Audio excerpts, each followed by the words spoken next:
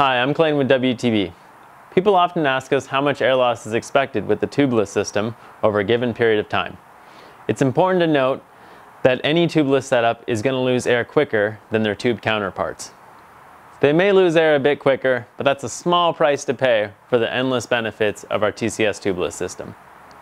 Depending on the sealant used and the overall seal of the tubeless system, tires can drop below safe operating levels within a time range of a few hours or even a few weeks. Therefore, it is important to check your tire pressures before every ride with a digital pressure gauge.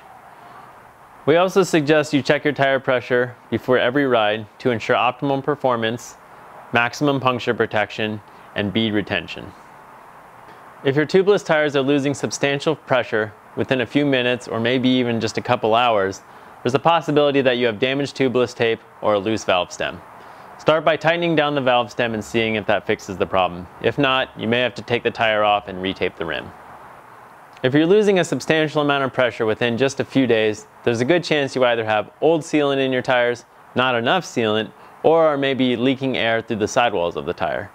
If this is the case, we highly suggest you remove the whole wheel from the bike, put fresh sealant in, and shake the tire around. This will allow the sealant to fully coat the sidewall of the tire as well as the tread. If you keep it on your bike, throw sealant in, and just spin the tire, it'll keep the sealant at the tread of the tire, but not really help in the areas of the sidewall. In order to ensure your TCS tubeless system retains an airtight seal, as well ensuring that you have sealant in there in case you do get a flat on the trail, we highly suggest that you check your sealant levels every couple months. This should be done even more often for those who live in dry climates.